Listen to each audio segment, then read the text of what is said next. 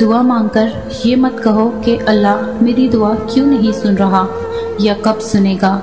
मेरी कोई दुआ कबूल नहीं होती, या होगी ही नहीं? वगैरह वगैरह। ये तो शिकायत है, और रब से शिकायत नहीं की जाती, बल्कि यकीन रखा जाता है। वो सुनेगा और बेहतरीन वक्त पर सब अता फरमाएगा। दुनिया की मोहब्बत से रब नहीं मिलता, लेकिन रब की मोहब्बत से दुनिया और जन्नत दोनों मिल जाती है।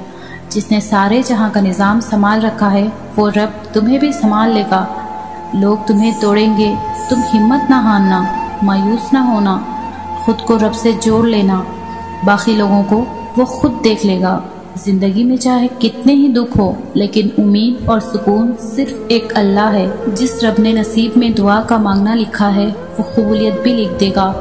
तुम सिर्फ़ मांगना जारी रखो, बाकी रब पर छोड़ दो। दुआ के लिए हाथ उठाना और तुम्हारा मांगना रब की तौफीक के बिना मुमकिन नहीं है। तो जिसने मांगने की हिम्मत दी है, वो कबूल भी ज़रूर करेगा। एक लम्हा लगेगा और रब नसीब बदल देगा। उसकी कुदरत और मसलहत तुम्हारी समझ से बाहर है। तुम बस यकीन रखो और दुआ करते रहो। दुआएँ करना कभी मत छोड़ना। वक्त बदलेगा, हालात बदलेंगे और दुआओं पर जल्द कुन कह दिया जाएगा।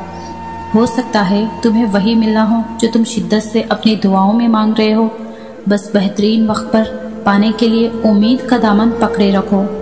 दुआएँ जितना वक्त लेती है, उनकी कबूलियत उतनी ही खूबसूरत होती है। उम्मीद मत छोड़ना, सब अच्छा होगा। इंसान से उम्मीद लगाना छोड़ दो। आधे दुख तो यूँ ख़त्म हो जाएँगे और बाकी तुम्हारी दुआओं से रब कर देगा। सुनने वाले तो बहुत है यार रब, लेकिन समझने वाला तेरे सिवा कोई नहीं। अगर तुम्हारी दुआओं ने नमाज़ से तहजद तक का सफ़र तय कर लिया है तो यकीन कर लो, कबूलियत करीब है। रब से मांग कर रोया नहीं जाता, उससे तो रोकर मांगा जाता है। दूर दिबाग दुआओं की कबूलियत का ज़रिया है। उस रब से ना उम्मीद कैसे हो सकते हो, जो सत्तर माओं से ज़्यादा मोहब्बत करता है? ना चाहते हुए भी अगर कोई दुआ तुम्हारी ज़ुबान पर आ जाती है तो हो सकता है वही तुम्हारे नसीब में भी हो।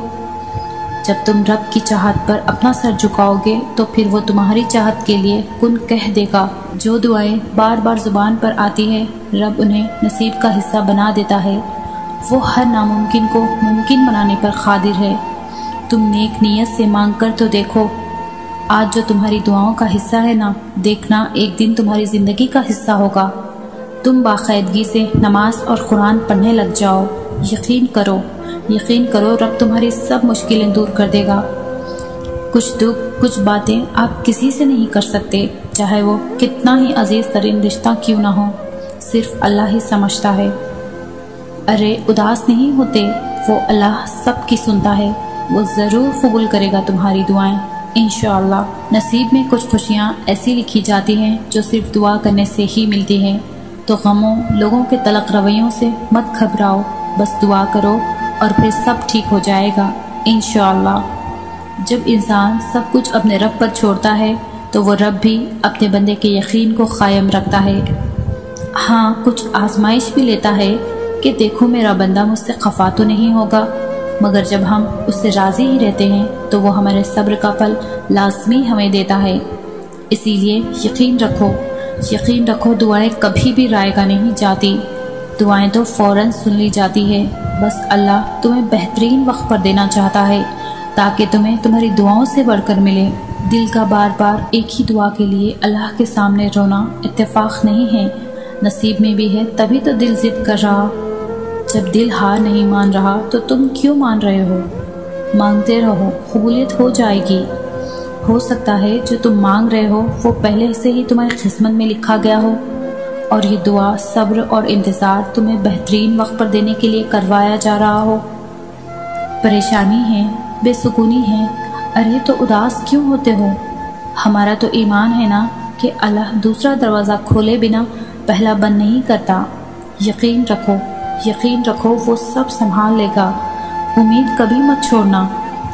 कल का दिन आज से बेहतर होगा इन एक दिन आप खुद कहोगे, या अल्लाह, यही था जो मैंने हमेशा आपसे मांगा था। अभी तो वो दिन भी आना है इन जब तुम अपनी हर दुआ कबूल होती देखोगे। सुकून चाहते हो, दुआओं की कबूलियत के लिए आँखें रोज़ भीग रही है। लेकिन कबूलियत नहीं हो रही। क्या लगता है? क्या लगता है तुम्हारे ये आँसू बेसबब हैं? अरे, ये आँसू तो नीमत हैं और अल्लाह को बहुत ज़्यादा पसंद है। वो जल्द ही तुम्हें इनका बदला अदा फरमाएगा। तुम्हारी दुआएँ कबूल करके सुकून से नवाज़ देगा।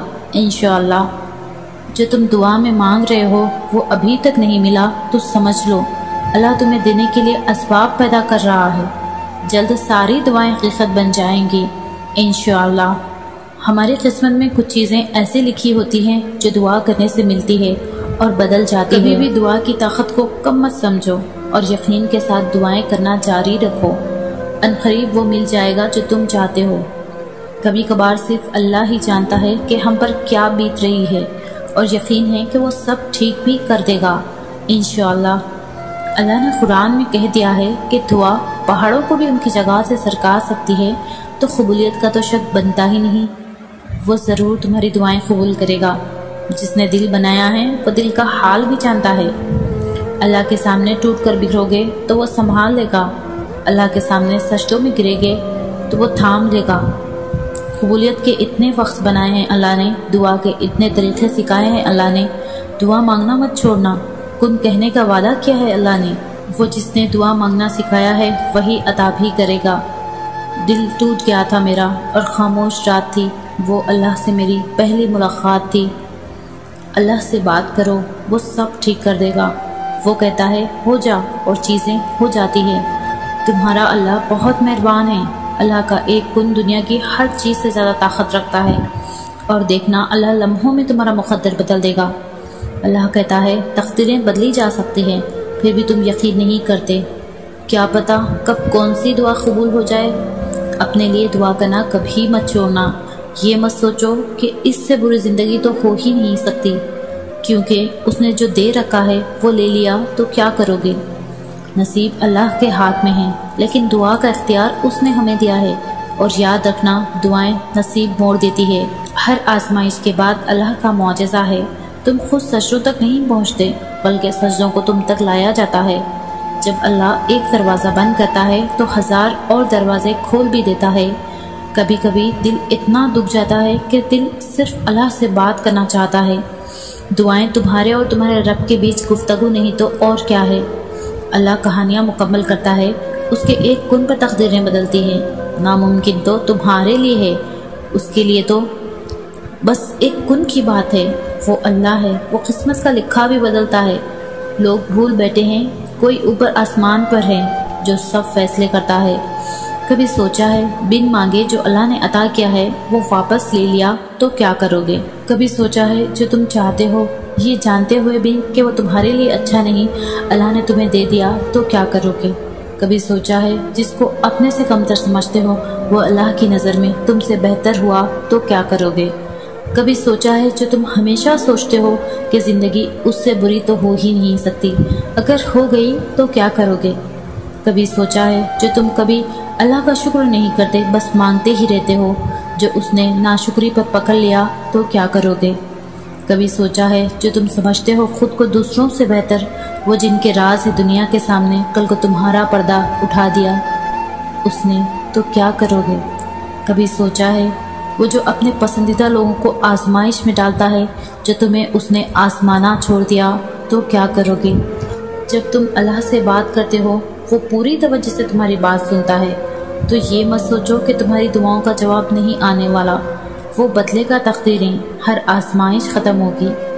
जब तकलीफ़ हद से बढ़ जाती है तो समझ जाओ, अल्लाह की मदद आने वाली है।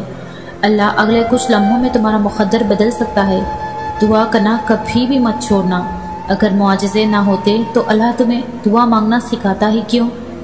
दिलों में रहने वाला दिलों के हाल भी जानता है। टूटे हुए दिल कहाँ जाते हैं? टूटे हुए दिल अल्लाह से जुड़ जाते हैं। हो सकता है, हो सकता है तुम्हें अल्लाह की मोहब्बत के लिए टूटना पड़े। हो सकता है तुम्हारा टूटना ही तुम्हें तुम्हारी मनपसंद चीज़ तक ले जाए। हो सकता है तुम्हारे इंतज़ार का अज्र तुम्हें मिलने ही वाला हो। हो सकता है अल्लाह तुम्हारी कहानी मुआजे से मुकम्मल करने ही वाला हो। तहजद के वक्त बेबसी से आसमान की तरफ़ उठे हाथ नसीब बदल देते हैं और मुआज़ों को ज़मीन की तरफ़ खींच लाते हैं। तो सोचो, जिसने माँ को बनाया है, वो खुद कैसा होगा? अगर अल्लाह तुम्हें तुम्हारा नसीब खुद लिखने का इख्तियार देता तब भी तुम अपना नसीब उतना बेहतरीन ना लिख सकते जितना उसने लिखा है। मायूस क्यों हो जरा सी देर पर भूल गए हो तुम्हारा अल्लाह कौन है? हमने गिर कर देखा है, अल्लाह के अलावा कोई नहीं थामता। अल्लाह पर तवक्ल के रास्ते पर चलने वालों की मंजिल कुन होती है? और फिर सुकून आ जाता है, जब ये समझ लो कि हर चीज़ अल्लाह की मर्ज़ी से होती है। चीज़ें ख़राब होती है पहले से ज़्यादा बेहतर होने के लिए। इस आजमाइश के बाद अल्लाह का मुआजा है तुम्हारे लिए। वो जब कुन कहता है तो वक्त बदल देता है। मुआजे होते हैं और दुआएँ सुन ली जाती है।